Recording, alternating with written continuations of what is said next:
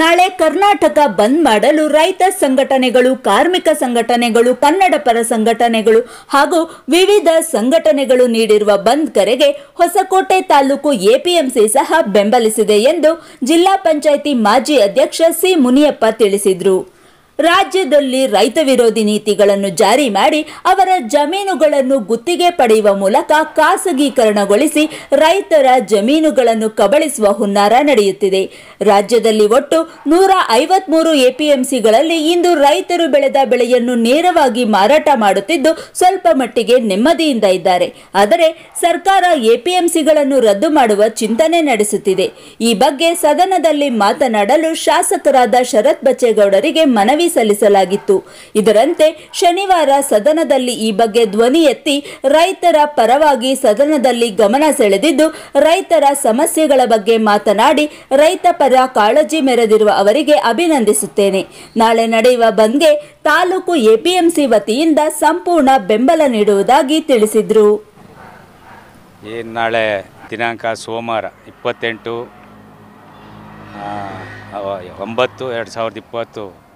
ಸೋಮವಾರ ಒಂಬತ್ತು ಗಂಟೆಗೆ ನಮ್ಮ ತಾಲೂಕಿನ ಎಲ್ಲ ರೈತ ಸಂಘಟನೆಗಳು, ಎಲ್ಲ ಸಂಘ ಸಂಸ್ಥೆಗಳು ಇವತ್ತು ಬಂದ್ಗೆ ಭಾರತ್ ಬಂದ್ ಕರೆ ನೀಡೋದ್ರಿಂದ ಇವತ್ತು ಹೊಸಕೋಟೆ ತಾಲೂಕಿನ ನಮ್ಮ ತಾಲೂಕಿನ ಎಲ್ಲ A P M C, A P M ಸಿಯ ಎಲ್ಲ ಆಡಳಿತ ಮಂಡಳಿ, ಆಶು ಹೊಸಕೋಟೆ ತಾಲೂಕಿನ ಕೃಷಿ ಉತ್ಪನ್ನ ಎಲ್ಲ ರೈತರು ಇವತ್ತು ನಾಳೆ ಬೆಂಗ್, ಬೆಂಬಲದಲ್ಲಿ ಭಾಗವಹಿಸಬೇಕು ಅಂತೇಳಿ ಅದನ್ನು ನಾವು ತೀರ್ಮಾನ ಮಾಡಿಕೊಂಡು ಈಗಾಗಲೇ ನಾನು ಪತ್ರಿಕೆ ಹೇಳಿ ಹೇಳಿಕೆ ಕೊಟ್ಟಿದ್ದೇನೆ.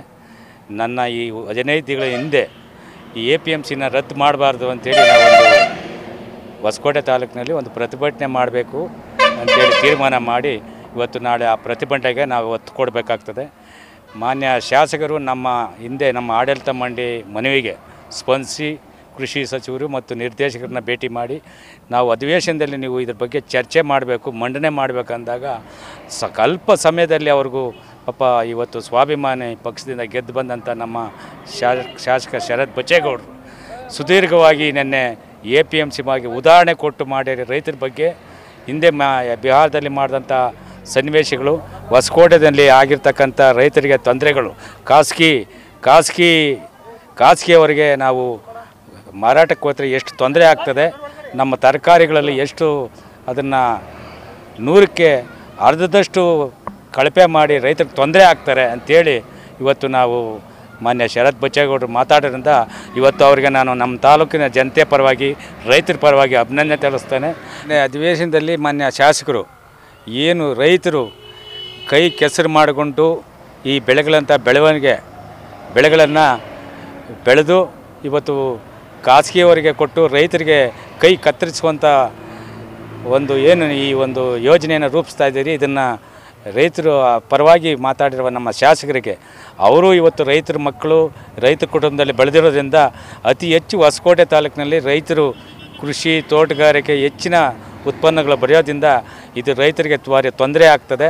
ಇದನ್ನು ಮತ್ತೊಮ್ಮೆ ನಾನು ಶಾಸಕರಿಗೆ ಅಭಿನಂದನೆ ಸಲ್ಲಿಸ್ತೇನೆ ಒಟ್ಟಾರೆ ನಮ್ಮ ತಾಲೂಕಿನಲ್ಲಿ ಪಕ್ಷಾತೀರ್ಥವಾಗಿ ಈ ಭಾರತ್ ಬಂದ್ಗೆ ಬೆಂಬಲ ಸೂಚಿಸಬೇಕು ಅಂತೇಳಿ ನಾನು ಮನವಿ ಮಾಡ್ತೇನೆ.